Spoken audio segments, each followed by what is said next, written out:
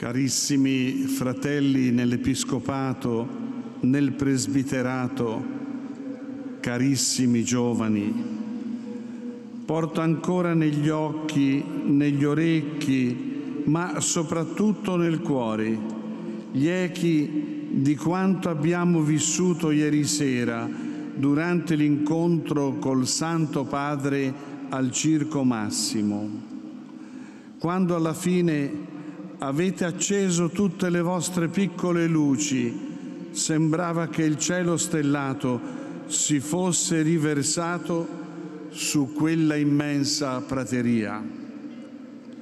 Ora è per me una gioia grande presiedere questa celebrazione con tanti fratelli vescovi, presbiteri e con voi nell'attesa di incontrare nuovamente tra poco il Santo Padre. Ieri sera vi è stato vicino, vi ha ascoltato con attenzione e vi ha indicato nell'incontro con Gesù, il risorto, il segreto per una vita buona. Questa messa rappresenta non solo il culmine di un cammino al quale vi siete preparati da tempo, ma anche il modo più bello con cui ringraziare il Signore per il dono della vita e lasciatemelo dire per quella speciale condizione in cui vi trovate, che è quella dell'età giovanile. Chissà come devono essere state difficili in alcuni tratti le strade che avete percorso per arrivare a Roma, quando il peso dello zaino, il caldo e la sete vi hanno fatto sperimentare la fatica e la stanchezza. Qualcuno forse si sarà chiesto, ce la farò, o più radicalmente, ma ne vale davvero la pena? Vedete, queste stesse domande se le ha poste anche il profeta Elia, come ci ha detto la prima lettura. Sono domande profonde, cari ragazzi, domande che riguardano il cammino della vita, dove stanchezze, demotivazione, disillusioni, sfiducia sono sempre in agguato. L'esperienza di questi giorni di cammino ha contribuito a farvi capire che nessuna difficoltà e nessuna paura sono insormontabili purché non le affrontiamo da soli il Signore non smette di mandare il suo angelo a portare al momento giusto ciò che serve per riprendere le forze e ravvivare il coraggio. So che molti di voi vivono la precarietà di una situazione lavorativa che vi impedisce di fare programmi per il futuro So che in tanti provenite da famiglie dove non è facile vivere. Nemmeno voi chiudete gli occhi davanti alle tante emergenze che sta attraversando il nostro Paese, anche se probabilmente vi sentite oppressi e schiacciati da problemi che riguardano il quartiere in cui vivete o la città dove abitate. Per questo e per tutto ciò che potrebbe farci sentire scoraggiati, impotenti, inutili, la figura del profeta Elia vi può parlare con forza. Anche Elia veniva da un lungo cammino in fuga da una regina iniqua che lo perseguitava da anni e per causa della quale tre volte ha rischiato di morire di fame.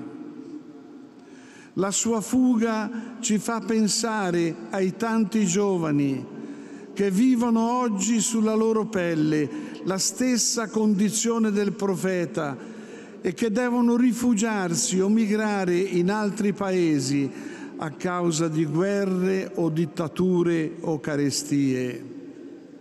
Alcuni di loro, e questo è un fatto commovente, hanno camminato anche accanto a voi e questa credo che per tutti sia stata un'esperienza bellissima. Però per noi è importante ricordare che ogni volta che il profeta pensava di morire ha sperimentato l'aiuto di Dio. La prima volta sono stati dei corvi a sfamarlo, come a dire che nel creato ci sarebbero risorse necessarie per tutti. Dio, si legge nel Salmo, provvede il cibo ai piccoli del corvo che gridano a lui. Nel racconto biblico i corvi sono addirittura lo strumento con cui il Signore viene in aiuto al profeta. La seconda volta Elia viene soccorso da chi meno se lo poteva aspettare. Una povera donna vedova e straniera questa figura ci ricorda che siamo sempre chiamati al dovere dell'accoglienza in qualunque condizione ci troviamo.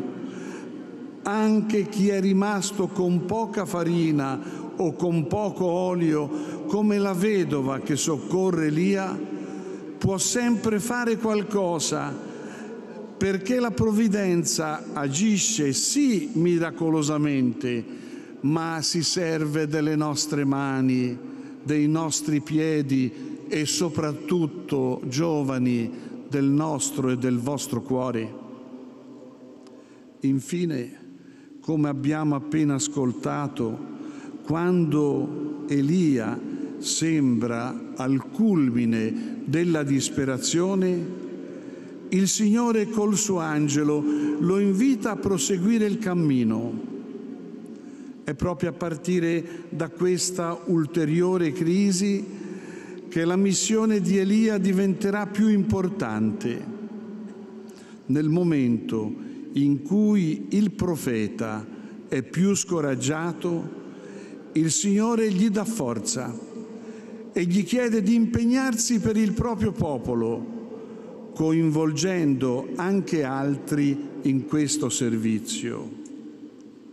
Carissimi, su questo sfondo, la pagina del Vangelo di questa domenica ci fa fare un passo decisivo, quello che porta a riconoscere in Gesù il pane della vita, il pane vivo che ci assicura una vita piena, bella, riuscita, eterna.